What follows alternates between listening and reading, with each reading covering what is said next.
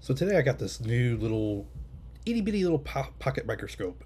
This thing is tiny. I'm not really expecting a whole lot from it, but I thought it looked kind of neat and decided to get it and try it. I thought maybe this would be something kind of cool for my kids to try.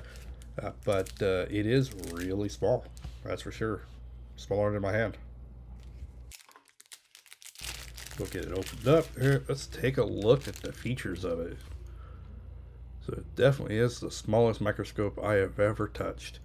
So we got an adjustment for magnification. We got our focus. It does take one AA battery, so it does light it up to see things a little better. Then our battery in, we got a little LED button, and there we go. It lights up. So I'll go find a couple things to kind of look at here get an idea what it can do. Alright, so I randomly tried to grab a few things, or like some coins. I don't have any dead bugs or anything that I can use right now. Uh, I'm going to try to attempt to get an image within the screen of the phone.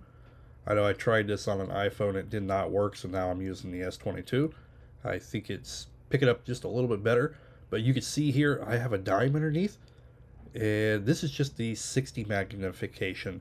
Uh, doing the 200 or or the 100 whatever it, it's going to be a lot harder to show it on here. Uh, but it does work. It's actually pretty neat. You can see the details of like all the little scratches and the little bumps and everything on the letters and stuff. It's pretty cool. So if you're looking for uh, you know a cute little microscope to play with the kids or just to have fun with this works pretty well